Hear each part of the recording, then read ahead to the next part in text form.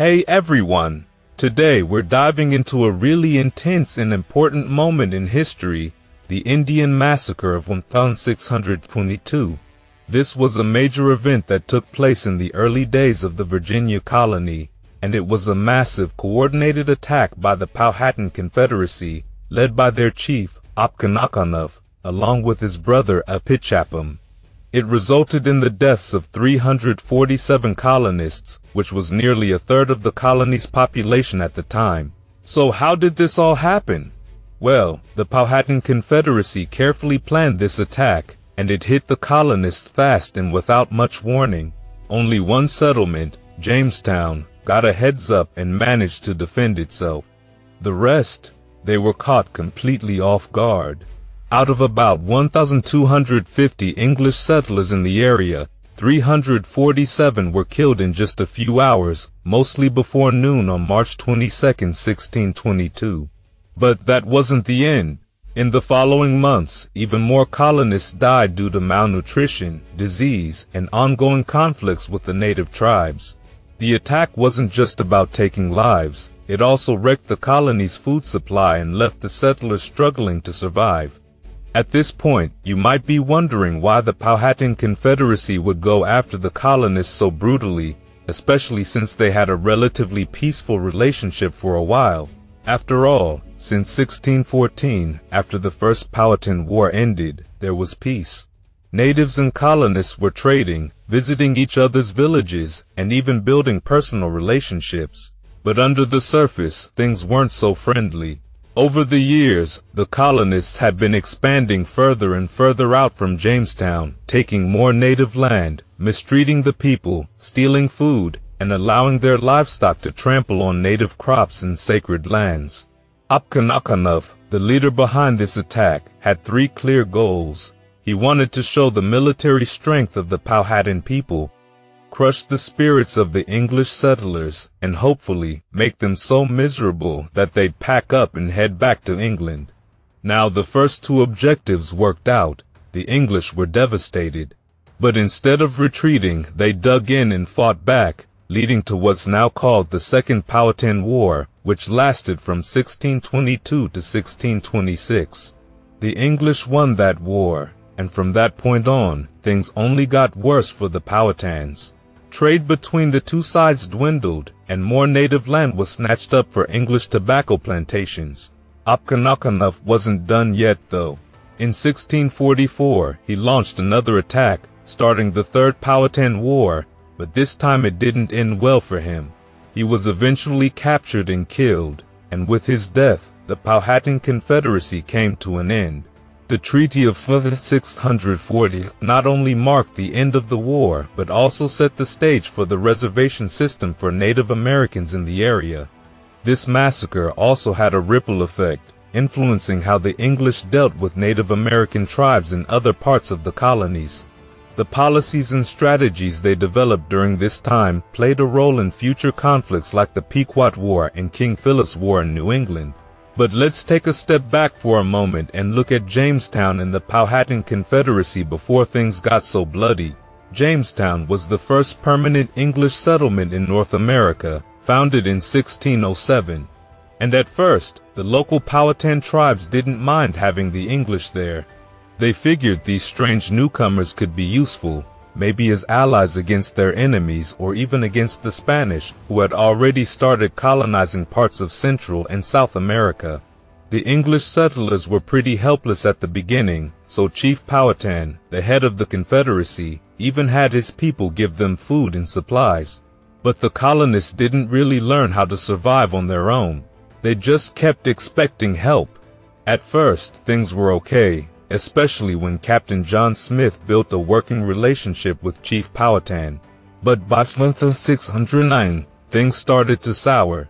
The colonists were getting greedy, taking more land and food, and basically treating the native tribes as if they were under the rule of the English king. This didn't sit well with Chief Powhatan, and he eventually ordered his people to stop helping the settlers. What followed was one of the hardest periods in Jamestown's history, known as the Starving Time. The colonists were trapped in their settlement, unable to venture out for food, and as a result, over 80% of them died. When new leaders, Sir Thomas Gates and Lord de la Warr, arrived in 1610, they completely changed the approach. They didn't want to compromise with the natives anymore, and that's what sparked the First Powhatan War, a brutal conflict with a lot of back and forth raids and casualties on both sides. And now let's talk about what's known as the Peace of Pocahontas. This was an eight-year period of relative calm between the colonists and the Powhatan Confederacy following the end of the First Powhatan War. So at this point, the native tribes were far better at guerrilla warfare. They were quick, mobile, and their bow and arrows could be fired much faster than the colonists' slow-loading muskets. The colonists, on the other hand, had a huge advantage in sheer numbers. Even though many of them were being killed, more and more kept arriving from England, while the native tribes didn't have that kind of endless supply of people. As the colonists pushed further inland, they'd attack native villages, wipe out the people, and then fortify the land for themselves. This not only took away valuable resources from the natives, but also pushed the tribes further from their own territories, creating a bigger buffer between the English and native settlements. Meanwhile, more colonists and heavier artillery, like cannons, were arriving, and one of these settlers was John Rolfe. He arrived in 1610 with the new governor, Sir Thomas Gates, bringing along some hybrid tobacco seeds. He experimented with these and soon turned tobacco into the cash crop that made him and the colony wealthy.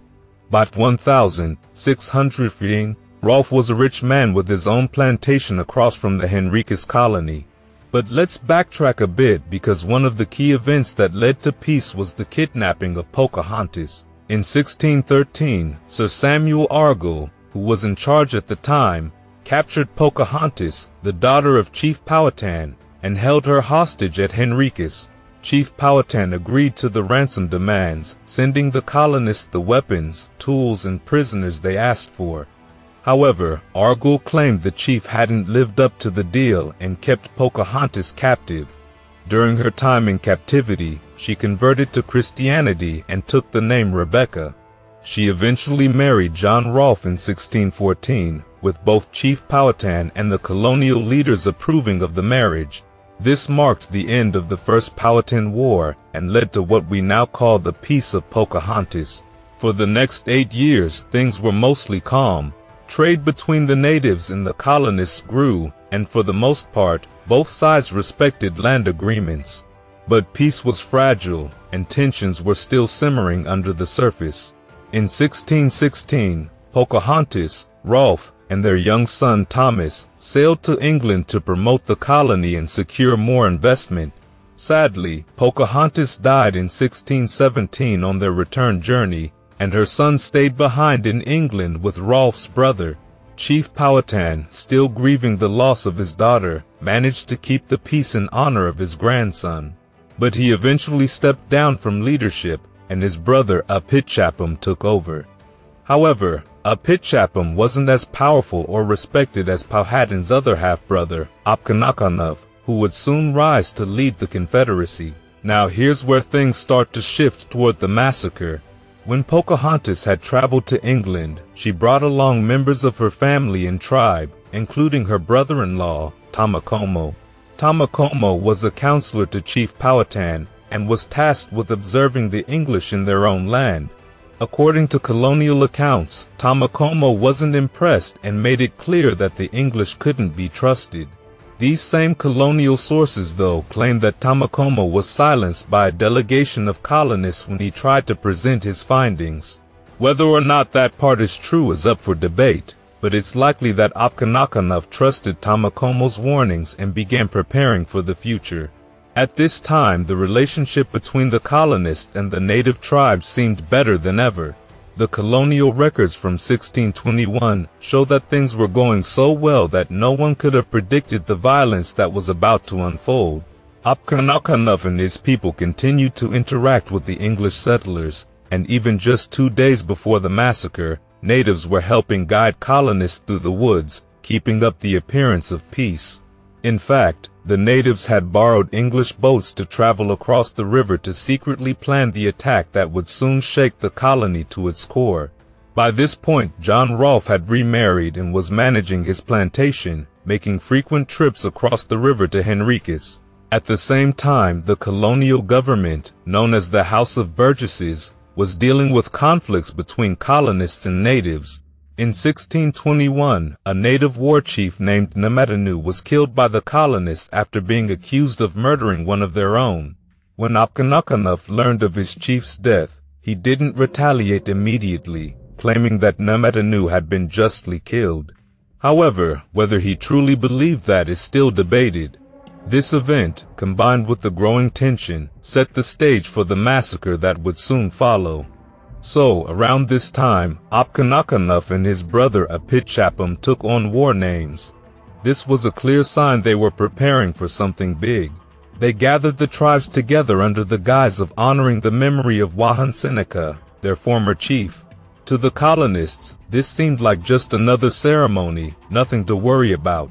But in hindsight, this gathering was likely a cover for planning and coordinating the attack. The natives had been quietly gathering information, where the colonists would be, who was working in the fields, what times they were most vulnerable. They studied every detail to make sure their strike was swift and deadly. Then the morning of March 22, 1622, Good Friday, began just like any other. The colonists went about their usual routines, working on their farms, tending their shops, completely unaware of what was about to unfold. Early that morning, native warriors quietly entered the European settlements. They knocked on doors asking to come inside. To the colonists, these were familiar faces, people they had traded with, shared meals with. Many of the natives entered unarmed and even accepted food or drink.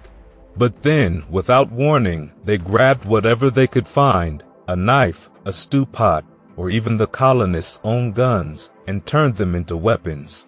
They struck fast, killing entire families before anyone even realized what was happening. Houses were set ablaze, and settlements across the region went up in flames.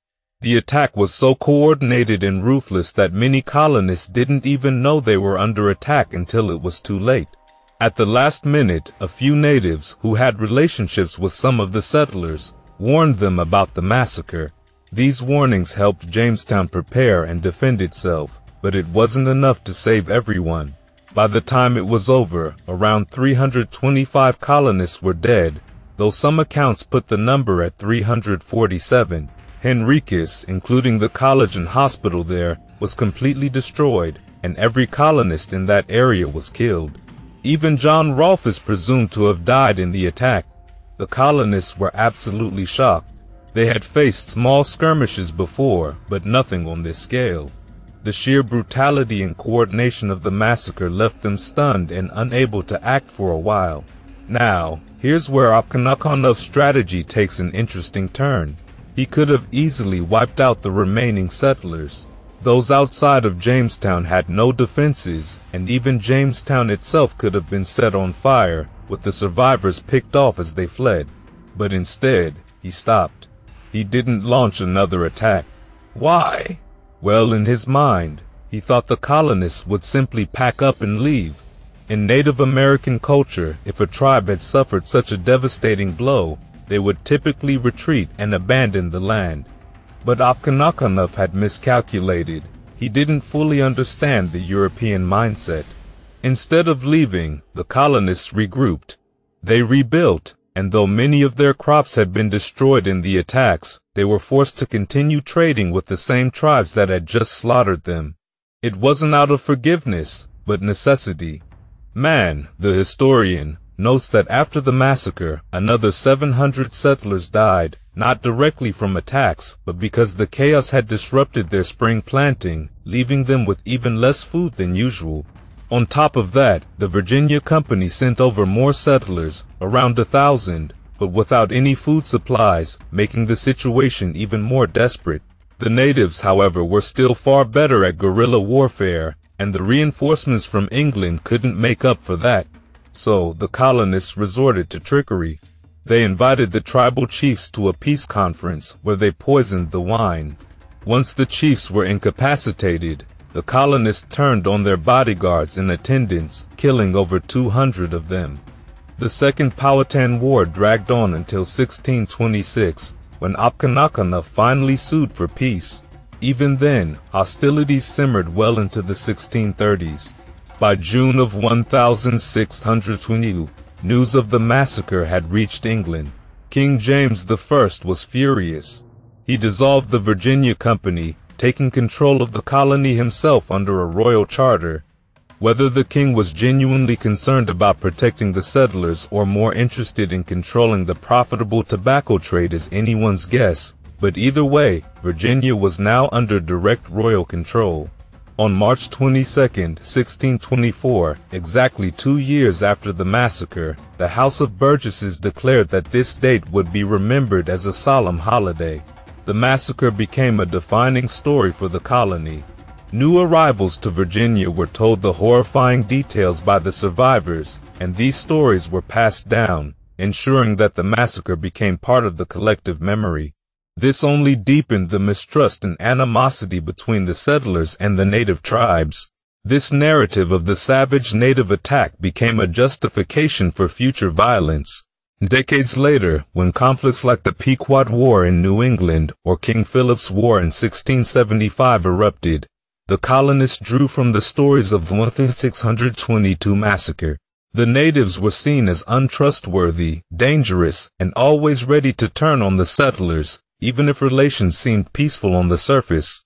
But the truth, as we now understand it, is more complicated. The massacre of 1620 Two wasn't an unprovoked attack by a savage enemy. It was a carefully planned response to years of mistreatment, land theft, and violence by the English colonists. The natives had seen their land taken, their people killed, and their way of life threatened by settlers who treated them as less than human. The massacre, from the native perspective, was not an act of savagery, it was an act of survival. By the end of the 17th century, the colonists had continued to justify their expansion into native lands by invoking the 1622 massacre. The stories of that event were used to paint the natives as the aggressors, conveniently ignoring the atrocities committed by the settlers themselves.